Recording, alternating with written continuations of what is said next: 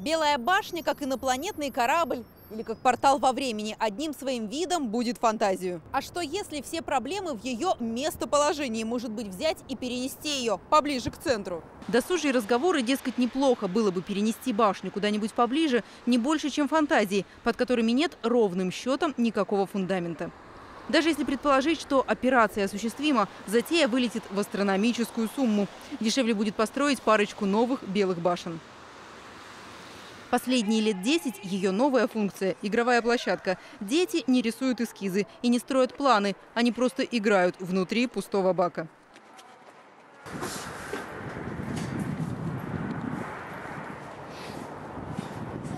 Белая башня играет роль такой большой, суровой э, детской площадки для суровых маленьких уралмашевских детей, которые э, очень любят сюда лазить.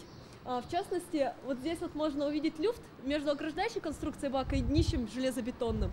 Дети забираются туда, подсаживают друг друга и таким образом как бы оказываются в чаше бака, э, который имеет как раз вот эту вот геометрию выгнутую с плавными приподнятыми стенами. А, где в середине можно играть в царя горы, когда они пытаются забраться на эту возвышенность, либо очень быстро бегая по кругу, можно забегать на стены. Вот такие суровые детские уралмашевские игры. А что если взять и превратить башню в место паломничества для туристов? Вдохновившись альбомами по конструктивизму, иностранцы готовы без сопровождения отправиться в рискованное путешествие на край Уралмаша. Француз из Берлина Мэтью Мартин влюбился в водонапорную настолько, что своими руками решил вернуть ей белоснежный облик. То ли еще будет, если правильно позиционировать Белую башню на туристическом рынке. Как ее преподнести, как показать?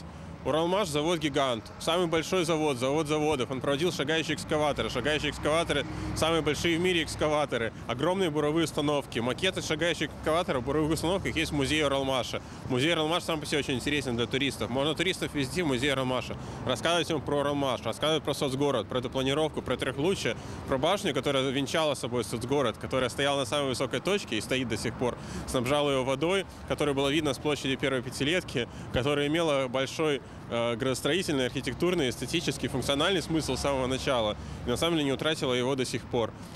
В надежде на туристический бум екатеринбургский дизайнер решил вернуть водонапорной ее изначальную функцию и превратил Белую башню в кружку. Кружка от Ложкина – потенциальный хит продаж. Белую башню надо использовать на полную катушку и, может быть, Э, этим еще подвигнуть как бы общественность или кого кто ответственный за ее состояние, чтобы ее как-то восстановить и облагородить. То есть и раскрутить бренд такой вот уральский.